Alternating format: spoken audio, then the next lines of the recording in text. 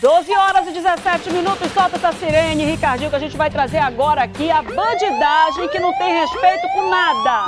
A polícia apreendeu aproximadamente 2 quilos de substância entorpecente do tipo skunk, maconha do, é, do tipo skunk, na zona leste de Manaus. Detalhe, onde estava essa droga? Num buffet infantil. Lá onde a criançada fica brincando, no pula-pula, quando tem festa, era lá que estava a droga. Quem vai trazer os detalhes pra gente aqui na tela é o Bruno Fonseca. Bruno.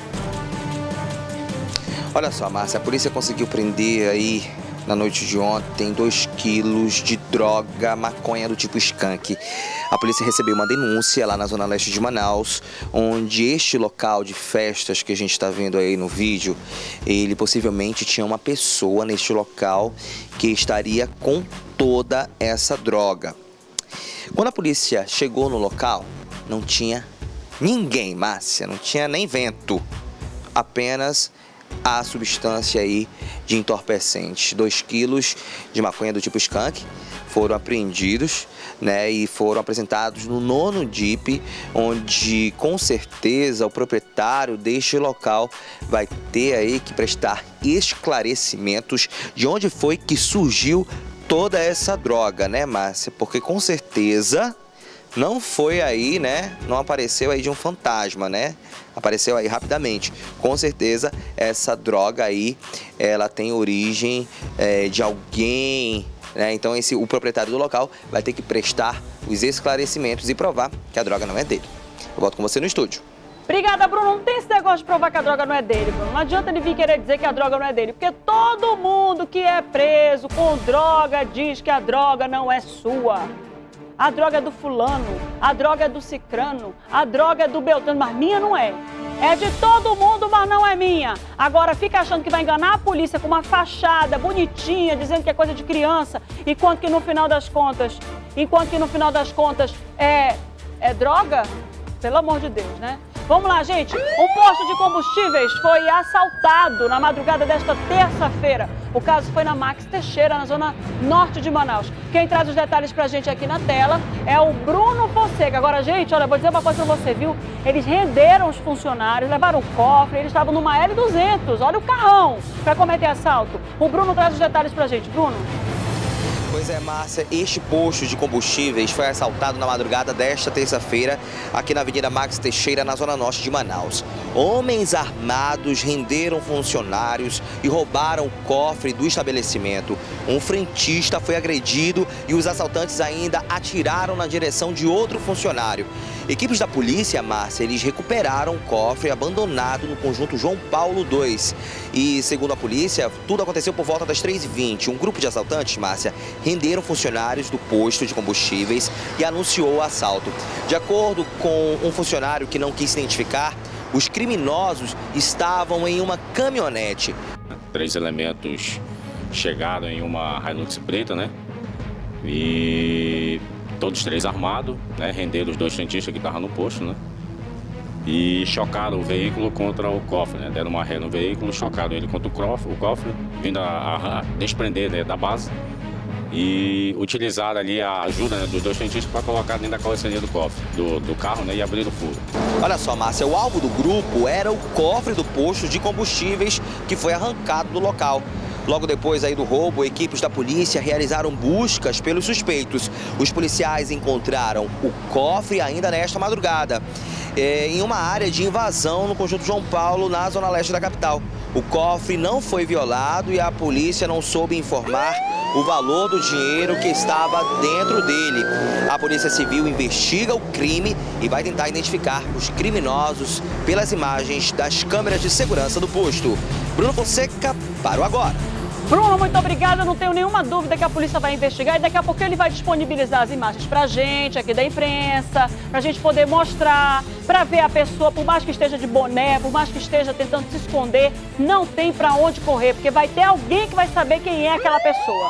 Vai ter alguém que vai conhecer de algum lugar e vai dizer, olha, o fulano que roubou o posto tá na casa do Cicrano, tá lá na casa do Beltrano, tá no bairro fulano de tal. Então não tem para onde correr não, pode ter certeza que mais dia menos dia a gente vai saber qual é o paradeiro e qual foi o prejuízo dado nesse posto de combustíveis. Agora, gente, algumas vezes até se sabe o que tem, quanto dinheiro tem, mas a polícia acaba guardando algumas informações, porque o inquérito policial é sigiloso, para justamente é, garantir o deslinde da questão sem publicar, sem divulgar muita coisa. A gente vai ficar acompanhando. 12 horas e 22 minutos. Você que está aí do outro lado acompanhando o programa da comunidade, a gente vai trazer aqui mais um caso de tráfico de drogas. É isso, diretor? A gente vai trazer mais um caso de tráfico de drogas, só que dessa vez foi Itacoatiara. Trouxemos informações de Parintins e a gente vai trazer informações também de Itacoatiara. O Bruno é que sabe melhor essa história e vai contar pra gente aqui os detalhes da tela. Bruno? Pois é, Márcia, a polícia de Itacoatiara conseguiu aí colocar atrás das grades contribuidores para o tráfico de drogas através de uma operação. Olha só, a polícia civil, né, militar de Itacoatiara, eles desencadearam a operação Jauari Seguro, onde pontos de vendas, Márcia, de drogas foram vistoriados, sendo presos por tráfico de drogas Carlos André Monteiro Lemos, irmão do principal traficante de, do bairro lá de onde eles agiam. Marcos William, responsável por guardar, guardar drogas nenhuma casa nesse bairro onde eles foram presos. Daniel Nogueira Félix, ajudante de tráfico.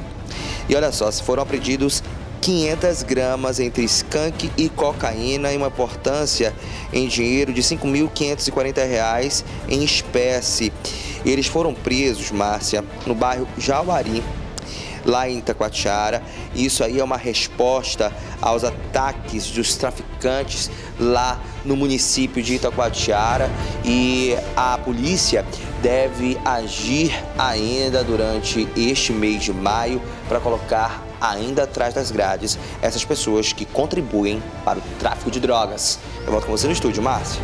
Obrigada, Bruno. Eles agem todos os dias. Todos os dias eles agem para botar os bandidos na das grades atrás das grades. A gente vai trazer mais um caso de homicídio na tarde dessa segunda-feira. Um jovem de 21 anos foi assassinado dentro de casa. O crime aconteceu no bairro Colônia Terra Nova, zona norte da capital. E quem traz os detalhes pra gente é o Bruno de novo. Bruno, é contigo. Olá, Márcia. Nós estamos aqui na rua Travessa Equador, no loteamento América do Sul, no Colônia Terra Nova, na zona norte de Manaus. Ontem, por volta das três e meia da tarde, Leonardo Gabriel foi assassinado dentro da casa dele. De acordo com a polícia, os dois homens entraram aqui na casa, eles invadiram a casa de Leonardo, que estava no quarto dele. E esses dois homens fizeram dois disparos que acertaram aí a cabeça de Gabriel, que morreu na hora. De acordo com a polícia, foi a queima-roupa, Márcia.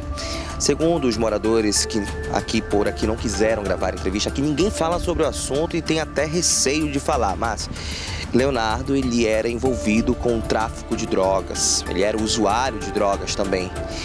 E a gente pode ver neste momento, Márcia, que a gente está aqui em frente à casa dele, não tem ninguém por aqui. Aqui a gente tentou conversar, bateu aqui na, na frente da casa dele e aqui na porta, ninguém está por aqui. A gente vê uma luz acesa, uma luz acesa ali, ó. E só. Ninguém fala sobre o assunto. Ninguém comenta absolutamente nada, Márcia. Leonardo Gabriel tinha 21 anos e foi assassinado aí dentro da casa dele aqui na Travessa Equador. A delegacia especializada em homicídios e sequestros deve chegar a esses dois homens e saber aí, né, o real motivo da morte desse jovem. Bruno Fonseca, para o agora. Obrigada, Bruno. Infelizmente, a gente vê mais um caso, não tenho nenhuma dúvida, de acerto de contas. Esse tipo de homicídio, esse tipo de assassinato, nessas circunstâncias, infelizmente tem a ver com o tráfico de drogas, acerto de contas, débito. Infelizmente, agora um jovem de 21 anos tinha uma vida inteira pela frente para produzir, para ser alguém, para poder constituir uma família, ter seus filhos, ou trabalhar, fazer ali a diferença na sociedade, porque todos nós somos capazes de fazer a diferença no mundo em que a gente vive, no lugar em que a gente vive, e teve a vida aí levada, arrancada desse jeito, tudo porque teve escolhas ruins. É claro que a delegacia especializada em homicídios e sequestro vai investigar o caso para apurar direitinho quais foram os motivos, qual foi a motivação de mais esse homicídio. 12 horas e 27 minutos. Você que tem do outro lado acompanhando o programa da comunidade, fica ligado que a gente tem agora premiado, né? Vamos lá, pode chamar a vinheta, diretor? Dá tempo de chamar a vinheta rapidamente? Agora premiado no ar. Vamos lá que a gente tem aqui, olha, Carol Beauty Center, porque lugar de mulher bonita tem nome e endereço certo, viu? Então eu vou dizer alô e você vai dizer Carol Beauty Center, porque lugar de mulher bonita tem nome e endereço certo. Atenção! Ok, tudo certo aí? Vai, vem lá do João Paulo, hein? Alô? Carol Beauty Center, porque lugar de mulher bonita tem nome e endereço certo. Aê, garota! Uh! Quem tá em casa aí contigo? É Raquel João Paulo. É a Raquel que tá falando, né? Sim. Quem tá em casa contigo, Raquel? Tá sozinha? É a minha filha e a tia do meu esposo. Diz o nome da tua filha pra eu mandar um beijo pra ela. A Stephanie, Stephanie Michele e Ana Paula. Stephanie, ah, Ana Paula, ah. quem é que vai lá se ajeitar linda lá na Carol Beauty Center, hein, Raquel? Sou eu mesmo. Vai você mesma? Vai ficar loura E ou... minha filha que ligou pra me dar de presente no dia das mães. Que show! Que maravilha, que filha antenada essa que tu tem, né, Raquel? Raquel, você é loura? Oi. Você é loura? Não, eu sou morena. Você quer ficar loura? Então, Quer ficar morena mesmo, né? Quer só dar uma repaginada ali, só um trato no visual, que você já tem um visual bonito, só quer dar uma melhorada ali, né? sim. Ok, é lá na Carol Beauty Center mesmo. Fala com a produção, tá bom? Ok. Gente, são 12 horas e 29 minutos, vai já virar o relógio. Você que acompanhou essa edição do nosso programa da comunidade, muito obrigada pela audiência. Fica ligado, o pessoal que está ligado conosco pelo Facebook, obrigada também. Fica esperto aí, porque amanhã tem mais, viu? Amanhã é quarta-feira, a gente vai estar aqui junto com você que está do outro lado. Um grande beijo para todo mundo que acompanhou o programa da comunidade.